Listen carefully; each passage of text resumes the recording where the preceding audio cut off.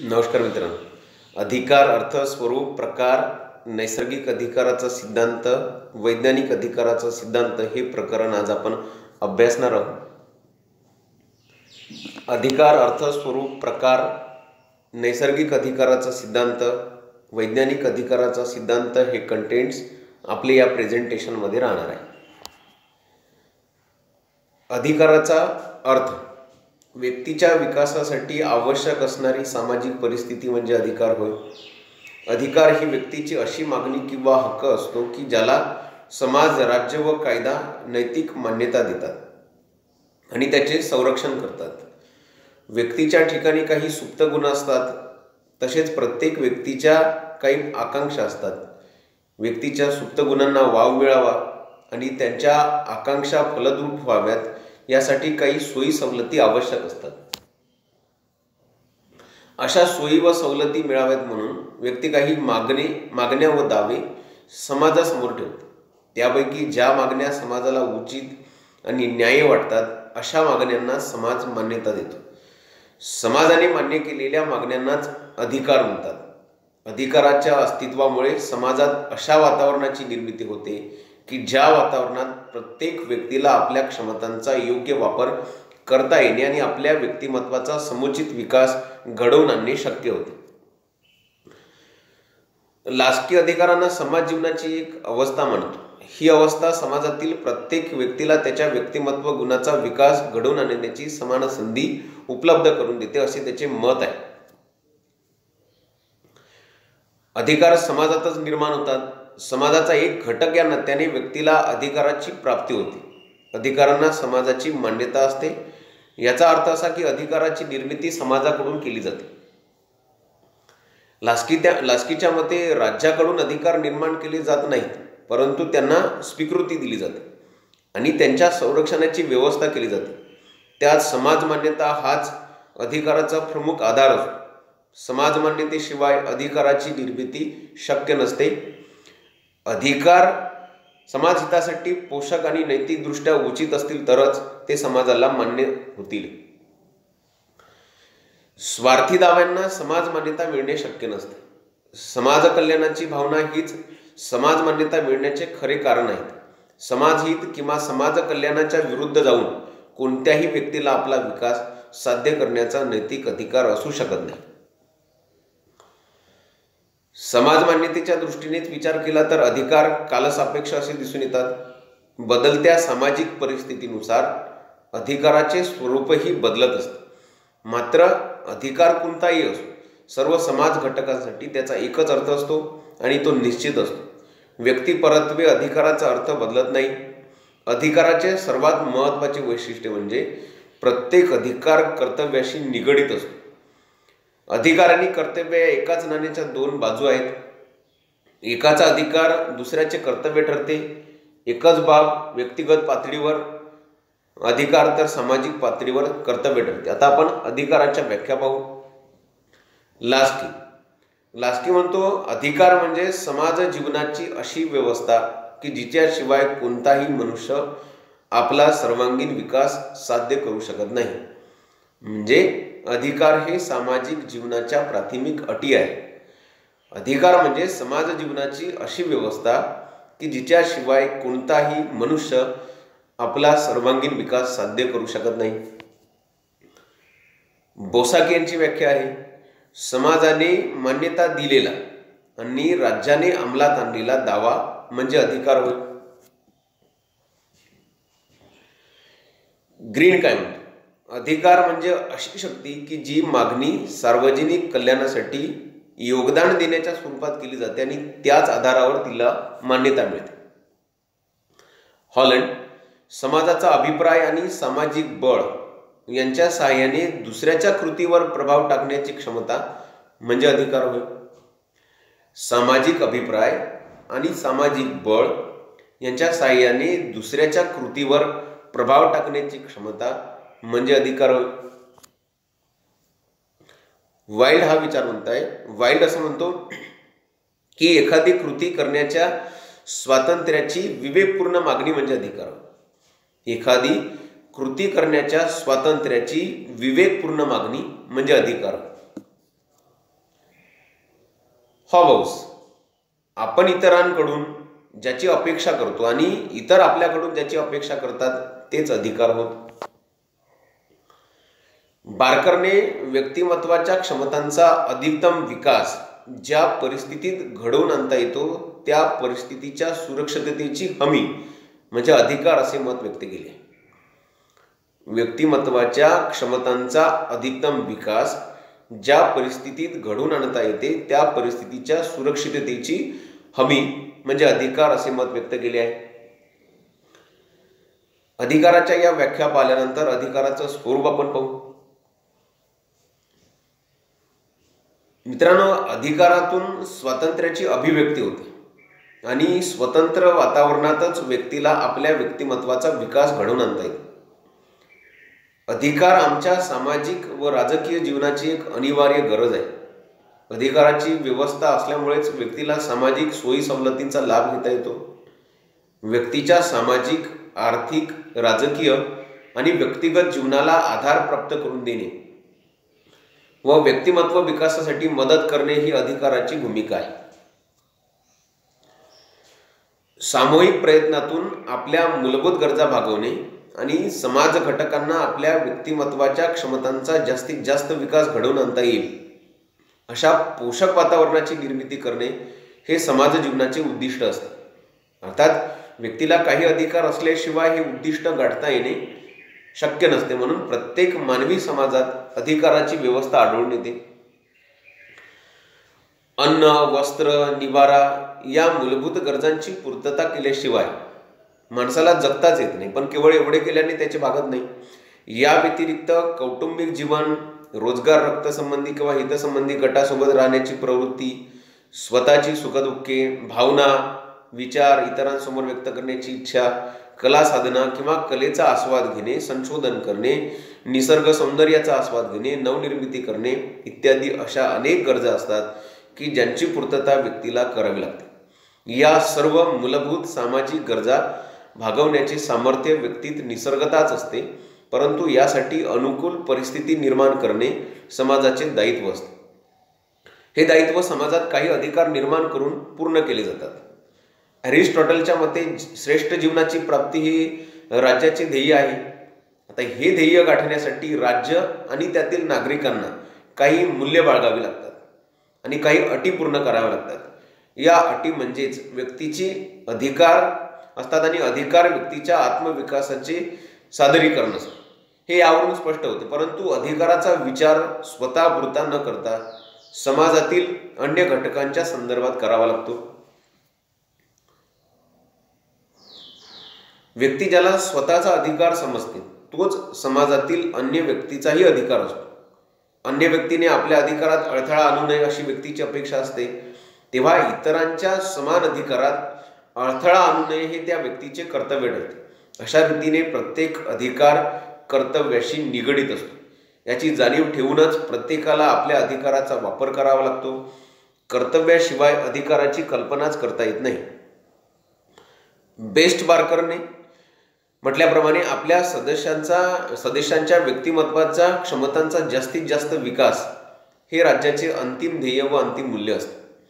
त्यामुळे असा विकास घडवून आणण्यास अनुकूल अशा परिस्थितीची कितपत हमी राज्याकडून दिली जाते यावरून हे राज्य आणि त्या राज्याचे कायदे उचित व न्यायसंगत आहेत किंवा नाहीत हे ठरत असते. व्यक्ती विकासाच्या सुरक्षिततेची हमी देणारी परिस्थिती म्हणजे अधिकार असे बारकर म्हणतो लास्कीने एखादे राज्य आपल्या नागरिकांना किती व कोणते अधिकार प्रदान करते यावरून ते राज्य चांगले की वाईट हे ठरवता येते असे त्याने म्हटलेले आहे. प्राचीन काळापासूनच प्रत्येक मानवी समाजात अधिकाराची निश्चित व्यवस्था आढळून येते. पण प्रत्येक ठिकाणी त्याचे स्वरूप वेगवेगळे असते. याशिवाय अधिकार कालसापेक्ष असल्यामुळे प्रत्येक कालखंडात त्याचे स्वरूप बदलत राहते. प्रत्येक राज्यव्यवस्थेत अधिकाराचे अस्तित्व दिसत असले तरी हुकुमशाही व सर्वकष राज्यातून अधिकारांना मान्यता दिली जाते. परंतु लोकशाही राज्यात अधिकारांना अत्यंत महत्त्वाचे स्थान असते. व्यक्ती स्वातंत्र्य आणि व्यक्ती विकासाला लोकशाहीत सर्वोच्च प्राथमिकता असल्यामुळे नागरिकांना त्याचे मूलभूत अधिकार प्रदान केले जातात. इतकेच नव्हे तर त्याच्या संरक्षणासाठी योग्य ती व्यवस्था निर्माण केली जाते. अमेरिकेचे स्वातंत्र्य युद्ध फ्रान्सची राज्यक्रांती व विनोचा मानवी हक्काचा जाहीरनामा. याने आधुनिक लोकशाहीचा आधारभूत सिद्धांत म्हणून अधिकारांना मान्यता प्राप्त करून दिली. त्यामुळे आधुनिक काळातील कोणत्याही राज्याचा दर्जा त्या राज्याने आपल्या नागरिकांना प्रदान केलेल्या अधिकारावरून ठरवला जातो. लास्की म्हणतो की जे राज्य आपल्या नागरिकांसाठी योग्य अधिकाराची व्यवस्था करीत नाहीत या राज्याची इमारत वाळूच्या पायावर उभारलेली असते. आता हे सर्व अधिकाराचे स्वरूप आल्यानंतर अधिकाराच्या व्याख्या पाहिल्यानंतर अधिकाराची कोणती वैशिष्ट्ये आपल्याला लक्षात येतात? तर अधिकार हे देशकाल परिस्थिती सापेक्ष असतात. त्यामुळे निरनिराळ्या देशात व निरनिराळ्या परिस्थितीत भिन्न स्वरूपाचे अधिकार आढळून येतात. अधिकाराच्या मागणीत वैयक्तिक स्वार्थाची भावना नसते तर सार्वजनिक हित साध्य करणे हे नैतिक व निस्वार्थ भूमिका त्यामागे असते. अधिकार निश्चित स्वरूपाचे असतात. व्यक्तिपरत्वे अधिकाराचा अर्थ बदलत नाही. सर्वांसाठी एकाच अर्थाने त्याचा प्रयोग केला जातो. अधिकार राज्याकडून निर्माण केले जात नाहीत पण राज्याची मान्यता असते आणि त्याच्या संरक्षणाची जबाबदारी राज्यानेच उचललेली असते. अधिकाराच्या रक्षणासाठी राज्याकडून वैधानिक व्यवस्था निर्माण केली जाते. व्यक्तीच्या अधिकारावर अतिक्रमण झाल्यास न्यायालय कायद्याच्या आधारे त्याचे संरक्षण करते. अशा रीतीने अधिकार कायदेशी निगडीत असतात. अधिकार विकासशील असतात. समाजाच्या वाढत्या गरजा अपेक्षा परिस्थितीच्या अनुषंगाने त्याची वाढ होत असते आणि अधिकाराच्या यादीत भर पडत जाते. अधिकार कर्तव्याशी निगडीत असतात. त्यामुळे कर्तव्याचे भान ठेवूनच व्यक्तीला आपल्या अधिकाराचा उपभोग घ्यावा लागतो. एकाचा अधिकार दुसऱ्याच्या संदर्भात कर्तव्य असते. कोणताही अधिकार अनिर्बंध असू शकत नाही. सामाजिक हिताच्या दृष्टीने अधिकारावर काही बंधने असतात. अधिकाराचे प्रकार कोणकोणते आहेत स्थूलमानाने अधिकाराचे विभाजन नैतिक अधिकार आणि वैधानिक अधिकार या दोन प्रकारात केले जाते. वैज्ञानिक अधिकाराचे पुन्हा दोन प्रकार पाडले जातात. सामाजिक किंवा नागरिक अधिकार व राजकीय अधिकार. सामाजिक व राजकीय अधिकारामध्ये अनेक अधिकार समाविष्ट असतात. काही लेखक मानवी आर्थिक अधिकाराचा वेगळा गट पाडतात. समाजवादी विचारक आर्थिक विचारांना सर्वाधिक महत्त्व देतात. तर युनोद्वारा प्रस्तुत मानवी हक्काच्या जाहीरनाम्याच्या आधारे काही लेखक मानवी अधिकाराचे समर्थन करतात. या ठिकाणी आपण वैधानिक अधिकार याचा उल्लेख करणार आहोत.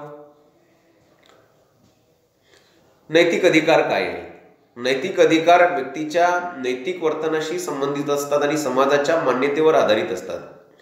आई वडील गुरुजन आणि वयोवृद्ध व्यक्तींचा आदर हा अशाच प्रकारचा अधिकार आणि नैतिक अधिकार यांना समाजाची मान्यता असली तरी राज्याचे संरक्षण नसते. त्यामुळे अधिकाराचा प्रयोग करणे किंवा न करणे व्यक्तीच्या इच्छेवर अवलंबून असते. नैतिक अधिकाराचे उल्लंघन झाल्यास कायद्यानुसार दंड देण्याची व्यवस्था नसते. धर्म सामाजिक दडपण आणि सामाजिक मूल्यवृत्ती यातून नैतिक अधिकाराचे पालन केले जाते. दुसरा वैधानिक अधिकार राज्याच्या कायद्यानुसार ज्या अधिकाराची व्यवस्था केली जाते त्यांना वैधानिक अधिकार म्हणतात. या अधिकारांना कायद्याचे संरक्षण असल्यामुळे एखाद्या अधिकाराचे उल्लंघन झाले असं न्यायालयाकडून दंड दिला जातो. अधिकार राज्याच्या सर्वोच्च सत्तेकडून प्रदान केले जातात आणि त्याचे संरक्षण केले जाते. वैधानिक अधिकार याचे दोन प्रकार पडले जातात सामाजिक अधिकार आणि राजकीय अधिकार. सामाजिक अधिकार किंवा ज्याला आपण नागरिक अधिकार असं म्हणतो समाजाचा एक घटक या नात्याने नागरिकांना जे अधिकार प्रदान केले जातात त्यांना सामाजिक किंवा नागरिक अधिकार म्हणतात. हे अधिकार व्यक्तिगत स्वरूपाचे असतात. त्यामुळे काही लेखक या अधिकारासाठी व्यक्ती स्वातंत्र्याचा अधिकार हा शब्द वापरतात. या अधिकाराच्या अंतर्गत पुढील अधिकार समाविष्ट केले जातात. जसं की सामाजिक आर्थिक व राजकीय स्वातंत्र्याचा अधिकार संस्था आणि संघटना स्थापन करण्याचा अधिकार संपत्तीचा अधिकार रोजगाराचा अधिकार उद्योग व्यवसाय करण्याचा अधिकार करार करण्याचा अधिकार शैक्षणिक अधिकार जीवितांचा अधिकार कौटुंबिक जीवनाचा अधिकार इत्यादी सामाजिक किंवा नागरिक अधिकारापैकी सर्वच महत्त्वाचे अधिकार आधुनिक राज्यात मान्य केलेले आहेत. अनेक राष्ट्रांनी त्यापैकी काही अधिकारांना मूलभूत अधिकार म्हणून आपल्या संविधानात स्थानही दिले आहे. राजकीय अधिकार काय आहे? तर आधुनिक लोकशाही राज्यातून राजकीय अधिकारांना महत्त्व प्राप्त झाले. नागरिकांना राज्यकारभारात सक्रियतेने सहभागी होता यावे म्हणून राज्याकडून काही अधिकार प्रदान केले जातात. राजकीय अधिकारात पुढील अधिकार समाविष्ट होतात. जसं की मतदानाचा अधिकार निवडणूक लढवण्याचा अधिकार राजकीय पद प्राप्त करण्याचा अधिकार सरकारच्या धोरणांवर टीका करण्याचा व सरकारला विरोध करण्याचा अधिकार शासनाकडे अर्ज करण्याचा अधिकार इत्यादी. राजकीय अधिकारातून राजकीय स्वातंत्र्याची अभिव्यक्ती होते. आणि कोणत्याही लोकशाही राज्यात अधिकार हे हे अधिकार आढळून येतात. म्हणून गिलक्रिस्टने राजकीय अधिकारांनाच लोकशाही हे नाव दिले अधिकाराची निर्मिती कशी झाली? त्यांचा विकास कसा झाला? त्यांचा तात्विक आधार कोणता? आणि अधिकाराचा आशय काय आहे? या संदर्भात विचारवंतांनी वेळोवेळी विचार मांडलेले आहेत. त्याला अधिकार विषयक सिद्धांत म्हटले जाते. हे सिद्धांत पुढील प्रमाणे आपल्याला सांगता येईल. या सिद्धांतामध्ये वैधानिक अधिकाराचा सिद्धांत अधिकाराचा ऐतिहासिक सिद्धांत अधिकाराचा सामाजिक व कल्याणवादी सिद्धांत अधिकाराचा आदर्शवादी सिद्धांत हे या अधिकाराच्या निर्मितीचे सिद्धांत आहेत. या ठिकाणी नैसर्गिक अधिकाराचा सिद्धांत आणि वैधानिक अधिकाराचा सिद्धांत या दोनच सिद्धांतावर आपण भर देणार आहोत. नैसर्गिक अधिकाराचा सिद्धांत. अधिकार हे निसर्ग सिद्ध असून मनुष्याला जन्मताच काही अधिकार मिळतात. हे या सिद्धांताचे मुख्य सूत्र आहे. मनुष्याची विचारशक्ती स्वाभाविक प्रवृत्ती आणि विवेक बुद्धी यातून अधिकाराची निर्मिती झालेली आहे. त्यामुळे ते उपजात व जन्मजात असून राज्य आणि समाज निर्माण होण्याच्या आधीपासून अस्तित्वात आहे. नैसर्गिक नियम हा नैसर्गिक अधिकाराच्या निर्मितीचा प्रमुख आधार असल्याने त्याचे औचित्य स्वयंसिद्ध आहे. नैसर्गिक अधिकाराशिवाय मनुष्याला जगणे अशक्य असते. म्हणून निसर्गदत्त अधिकारावर कोणतेही बंधन लादू शकत नाही असे या सिद्धांताचे थोडक्यात प्रतिपादन आहे. सिद्धांताचे समर्थक आणि विकास निसर्गदत्त अधिकार याची संकल्पना अतिशय प्राचीन असून ग्रीकमधील स्ट्राईक संप्रदायाच्या विचारापासून तिचा उगम झालेला आहे. तरी ॲरिस्टॉटलने गुलामगिरीच्या समर्थनासाठी नैसर्गिक अधिकाराची मदत घेतली आहे. पण कायद्याने नैसर्गिक अधिकाराच्या विकासात मौलिक योगदान दिले आहे. सुसंघटित जीवन जगण्यासाठी आवश्यक तत्वांचा विवेक बुद्धीच्या आधारे शोध घेण्याची प्रेरणा मनुष्याला निसर्गताच मिळाली आहे. हे रोमन कायद्यातील तत्व नैसर्गिक अधिकाराच्या मुळाशी आहे. सिसरो म्हणतो निसर्ग नियम विवेका विवेकनिष्ठ आणि सार्वत्रिक आवश्यक असतात. हे व्यक्ती व व्यक्तित्व गुणांना मान्यता देऊन लोकांना सर्वसामान्य सामाजिक बंधनाखाली एकत्र आणतात. मध्ययुगात दैवी आणि चर्चा निर्माणच नैसर्गिक नियम म्हटले जातात. परंतु सतराव्या व अठराव्या शतकात नैसर्गिक अधिकाराच्या सिद्धांताने मूर्त रूप धारण केले. त्याचे श्रेय सामाजिक कराराचा सिद्धांत मांडणाऱ्या विचारवंतांना द्यावे लागले. आमच्या मते सर्व व्यक्ती जन्मता समान आणि विचारशील असतात. ईश्वराने कोणत्याही व्यक्तीला इतरांवर आपल्या आज्ञा लादण्याचा अधिकार दिला नाही.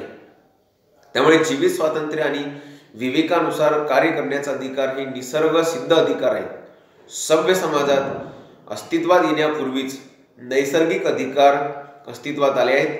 व्यक्तीच्या जन्मासोबत त्याला अधिकार प्राप्त होतात आणि सदैव त्याच्यासोबत असतात. त्यांचा वापर केव्हाही आणि कुठेही करता येतो. हॉब्स नैसर्गिक अधिकारांनाच नैसर्गिक शक्ती मानतो. त्याच्यामध्ये प्रत्येक वस्तूवर इतकेच नव्हे तर एकमेकांच्या शरीरावर सुद्धा व्यक्तीचा अधिकार आहे. निसर्ग अवस्थेत ही स्थिती होती. हॉब्स लॉक रुसो यांच्याप्रमाणेच मिल्टन वॉल्टियर हर्बर्ट स्पेन्सर या विचारवंतांनी नैसर्गिक अधिकाराचे समर्थन केले. हर्बर्ट स्पेन्सर म्हणतो समान स्वातंत्र्याचा अधिकार हा सर्व व्यक्तीचा मूलभूत अधिकार आहे. या स्वातंत्र्याच्या अंतर्गत प्रत्येक व्यक्तीला इतरांच्या समान स्वातंत्र्याला बाधा न आणता आपल्या मनाप्रमाणे वागण्याचा अधिकार आहे. नैसर्गिक अधिकाराचा सिद्धांत याचा फार मोठा प्रभाव अमेरिकन स्वातंत्र्य युद्धाने फ्रान्सच्या राज्यक्रांतीवर पडला. अमेरिकन स्वातंत्र्य युद्धाच्या घोषणेने जीवित व बंधुत्वाच्या तत्वांना विश्वव्यापी महत्त्व प्राप्त झाले. त्यामागची मूळ प्रेरणा नैसर्गिक अधिकारच होते. आधुनिक काळात सुद्धा नैसर्गिक अधिकाराचे महत्त्व कमी झालेले नाही. राष्ट्रसंघाच्या मानवी हक्काच्या जाहीरनाम्यात प्रत्येक व्यक्ती जन्मता स्वतंत्र व समान असते हे तत्व मान्य करण्यात आले आहे. मानवी हक्क आयोगाची स्थापना नैसर्गिक अधिकाराच्या रक्षणासाठी उचललेले पाऊल आहे असे म्हणावे लागेल. अन्न वस्त्र निवारा आणि रोजगाराच्या अधिकाराला नैसर्गिक अधिकार म्हणूनच आधुनिक काळात मान्यता दिली आहे. सिद्धांताची मूलतत्वे काय? तर नैसर्गिक नियम आणि नैसर्गिक अधिकाराच्या स्वरूपासंबंधी निरनिराळ्या विचारवंतांनी जी मते प्रदर्शित केली आहेत त्याचा आढावा घेतल्यास या सिद्धांताची काही मूलतत्वे आपल्याला सांगता येतात. अधिकार निसर्ग सिद्ध असतात. प्रत्येक व्यक्तीला जन्मताच काही अधिकार प्राप्त होतात आणि ते सदैव त्यांच्यासोबत असतात. मनुष्याची स्वाभाविक प्रवृत्ती विचारशक्ती आणि निसर्गातील विविध तत्वावर आधारित निसर्ग नियम यातून अधिकाराची निर्मिती झाली. अधिकार उपजत किंवा स्वयंसिद्ध असतात त्याचे औचित्य सिद्ध करण्यासाठी कोणत्याही स्पष्टीकरणाची गरज नसते. अधिकार राज्य व समाज निर्माण होण्याच्या आधीपासून अस्तित्वात आहेत. अधिकार अबाधित असून राज्य किंवा समाजाला त्यावर बंधने लादण्याचा अधिकार नाही. अधिकार व्यक्ती जीवनाची आवश्यकता आहे. याशिवाय व्यक्तीला जगणे अशक्य आहे. नैसर्गिक अधिकार व्यक्ती व समाज या दोघांच्याही विकासासाठी आवश्यक आणि उपयुक्त आहे या सिद्धांतावर टीका सुद्धा करण्यात आलेली आहे. पहिला आहे सिद्धांत या शब्दाचा अर्थ स्पष्ट नाही. आता नैसर्गिक शब्दाचे अनेक अर्थ असल्यामुळे या शब्दाच्या व्याख्येसंबंधी एकमत आढळून येत नाही. प्रोफेसर रिची निसर्ग या शब्दाचे निरनिराळे अर्थ सांगितलेले आहे असं म्हणतो. संपूर्ण विश्व विश्वाचा मान्यतेवर भाग मानवेत्तर भाग आदर्श किंवा परिपूर्ण उद्देश मूलभूत सामान्य किंवा सरासरी स्थिती या वेगवेगळ्या अर्थाने निसर्ग किंवा नैसर्गिक या शब्दाचा उपयोग होत असल्यामुळे त्याचा निश्चित अर्थ स्पष्ट होत नाही. या व्यतिरिक्त निसर्ग किंवा नैसर्गिक या शब्द कृत्रिम परंपरागत आध्यात्मिक किंवा दैवी आणि नागरी यांच्या विरोधातही वापरला जातो. त्यामुळे या शब्दाचा अर्थ अर्थाविषयी अनेक संभ्रम निर्माण होतात. निश्चित अर्थ नसलेल्या शब्दांवर सिद्धांत आधारित असल्यामुळे अधिकाराविषयीची जी स्पष्ट कल्पना यातून येऊ शकत नाही. नैसर्गिक अधिकार अनिश्चित आहेत. नैसर्गिक या शब्दाचा अर्थ अर्थाच्या बाबतीत एकमत नसल्यामुळे नैसर्गिक अधिकाराची निश्चित यादी तयार करता येत नाही. तर काही अनुचित गोष्टीचे समर्थनही नैसर्गिक अधिकाराच्या आधारे करता येते. गुलामगिरीच्या संवर्धनासाठी अरिस्टॉटलने या सिद्धांताचा आधार घेतला. या व्यतिरिक्त संपत्तीचे अधिकार स्त्री पुरुष असमानता स्त्री पुरुष संबंध व बहुपत्नीत्व स्वच्छंद प्रेमविवाह इत्यादी गोष्टीचे समर्थन आणि विरोध नैसर्गिक नैसर्गिक अधिकाराच्या आधारे करता येऊ शकतो. त्याचप्रमाणे जर निसर्गाच्या न्यायालयात अपील केले तर कुणालाच दोषी ठरवता येत नाही परंतु स्वतःला निर्दोषही सिद्ध करता येत नाही अशी स्थिती नैसर्गिक अधिकाराच्या बाबतीत आहे. नैसर्गिक अधिकार परस्पर विरोधी आहेत. फ्रान्सच्या राज्यक्रांतीने स्वातंत्र्य समता आणि बंधुता ज्या घोषणा नैसर्गिक अधिकाराच्या आधारावर केल्या परंतु या अधिकाराचा वापर करताना अनेक अडचणी निर्माण होतात. उदाहरणार्थ सर्व स्वातंत्र्य दिल्यास समाजात स्वैराचार व अराजकता निर्माण होण्याची शक्यता असते. तसेच संपूर्ण समता प्रस्थापित करण्याचा प्रयत्न केल्यास स्वातंत्र्य नष्ट विश्व विश्वबंधुत्वाची कल्पना जर स्वप्नवतच ठरली आहे त्यामुळे या सिद्धांताने प्रस्थापित केलेल्या अधिकारात परस्पर विरोधाभास आढळून येतो. राज्य व समाज कृत्रिम संस्था नाही. नैसर्गिक अधिकार समाज व राज्य पूर्व आहेत असे प्रतिपादन करून या सिद्धांताने राज्य व समाजाला कृत्रिम संस्था ठरवलेली आहे. मानवाच्या स्वाभाविक आणि नैसर्गिक प्रवृत्तीतून या सिद्धांताचा जन्म झाला असून त्याचा विकासही स्वाभाविकपणे घडून आलेला आहे. म्हणून राज्य व समाजाला कृत्रिम संस्था मानणे चूक ठरते. अधिकारांना समाज मान्यता आवश्यक असते. या सिद्धांतात अधिकारासाठी समाजाच्या मदतीची गरज नाही. समाजापासून वेगवेगळे अधिकार उपभोगता येतात असे म्हटले आहे. परंतु अधिकाराचा विचार सामाजिक संदर्भातच करावा लागतो.